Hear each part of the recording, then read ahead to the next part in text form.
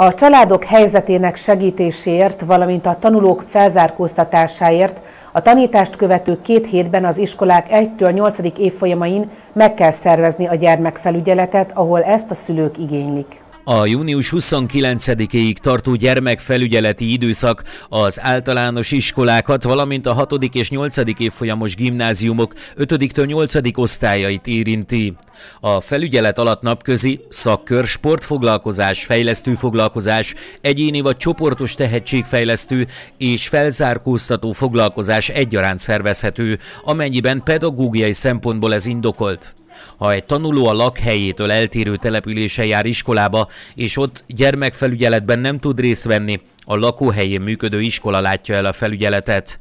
Az óvodai feladatellátás a nyári időszakban is folytatódik. Az emmi ezzel kapcsolatban külön levélben kérte az óvodák fenntartóit, hogy a pedagógusok szabadságolása és a nyári időszakra időzített esetleges felújítások, karbantartások elvégzése mellett is folyamatosan biztosítják a gyermekek fogadását és nevelését.